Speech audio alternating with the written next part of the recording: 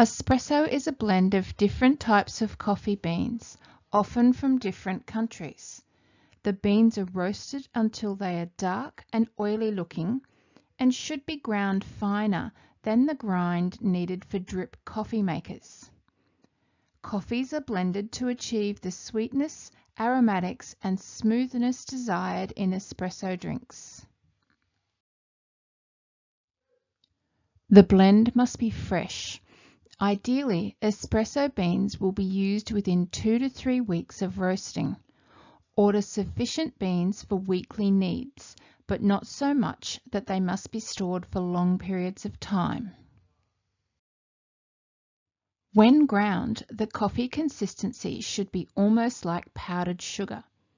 The texture of the grind will affect the brewing time through the machine and the quality of the end product.